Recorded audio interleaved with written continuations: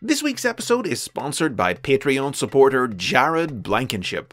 Jarod asked for the basics on Tarn, leader of the Decepticon Justice Division. But that would have been a pretty short episode, so today we're going to look at the whole team. The Decepticon Justice Division, or DJD, was created by writer James Roberts and artist Alex Milne for the IDW publishing comic book More Than Meets the Eye. They're a team of sadistic murderers whose job it is to root out and kill traitors and transgressors among the Decepticon ranks, with several of the group even having torture devices either for alternate modes or built into their bodies for this purpose. The DJD consists of five members who use as code names the names of the first five Cybertronian cities that fell to the Decepticons during the war. If a member dies, their replacement takes up their codename. The team have a personal spacecraft named the Peaceful Tyranny and are based on the planet Messatine, home to a mutated strain of the superfuel Nucleon, which they use to boost their strength to obscene levels. The team's lineup consists of Helex, real name Crucible. He imprisons Transformers inside his huge body and melts them alive with his built in smelting pool. His signature move is to remove the brains of his victims and place them in their mouths.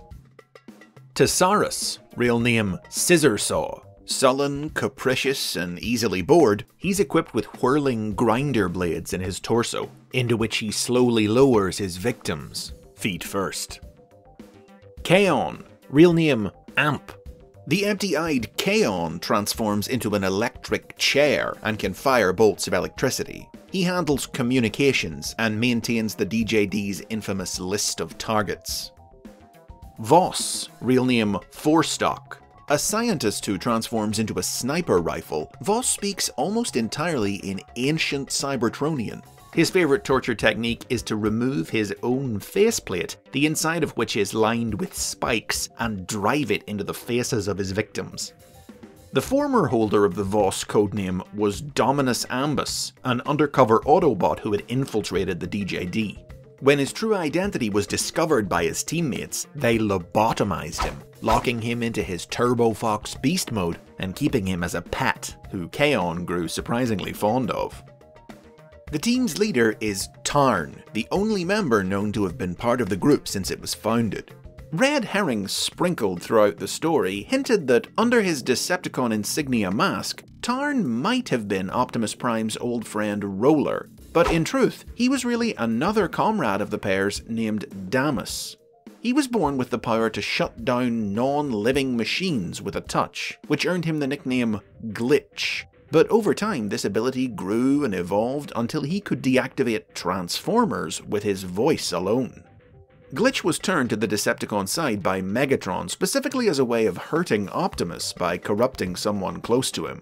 Becoming an obsessively devoted follower of Megatron's, he was rebuilt with a tank alternate mode armed with a double version of Megatron's famous fusion cannon. Tarn's mask hides facial injuries sustained in a battle with Grimlock. He conceals his monstrous nature behind a soft spoken air of culture and sophistication. He collects the writings of Megatron and knows them all by heart, and he loves classical music, most famously a piece titled The Empyrean Suite, which he played to hide the screams of prisoners he executed while serving as warden at Grindcore Prison. He runs his team like a bureaucrat with paperwork and performance reviews, but he has an obsessive, addictive personality, and he's even hooked on the act of transforming itself. He regularly burns out his transforming cog and has to harvest replacements from his victims. The team would later be joined by the Minicon Nickel, last survivor of the colony world of Prion, which was razed by the organic alien militia, the Black Bloc Consortia, Eager for revenge against organic life, she found the Decepticon manifesto appealing and joined up with the DJD as their medic and maintenance engineer.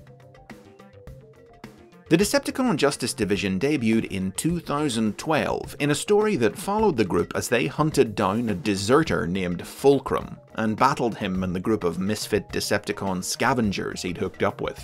Fortunately for the heinously outmatched scavengers, the DJD pulled out of the fight to pursue a much higher priority target Overlord.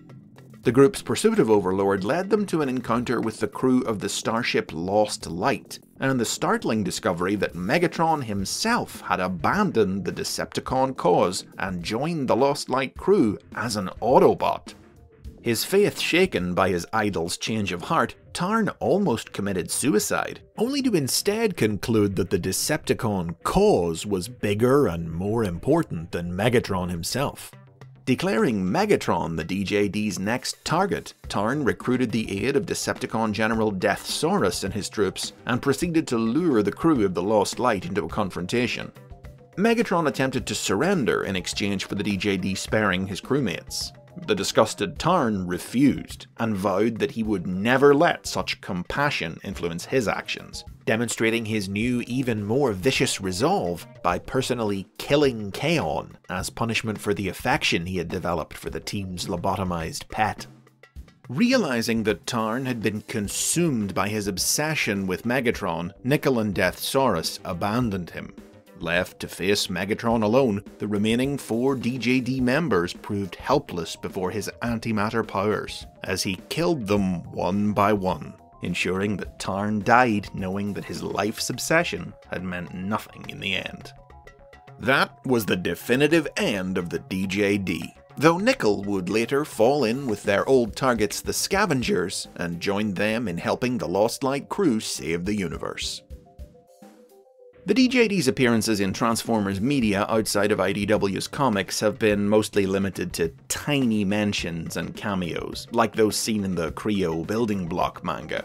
However, they were showcased in the Transformers Legends mobile game in 2015, and most recently in 2018, a fully licensed, highly posable, non-transforming action figure of Tarn was released by Flame Toys. The DJD are decidedly not kid-friendly characters, so them showing up in future Transformers cartoons or toy lines seems unlikely without some serious toning down, but in the world of the Transformers, stranger things have happened. And those are the basics on the Decepticon Justice Division. Thanks to Jarod for sponsoring this episode. Tell me which member of the team you'd most like to see get a toy down in the comments. Hit those like and subscribe buttons while you're down there, and if you're in a position to, please consider supporting the channel on Patreon.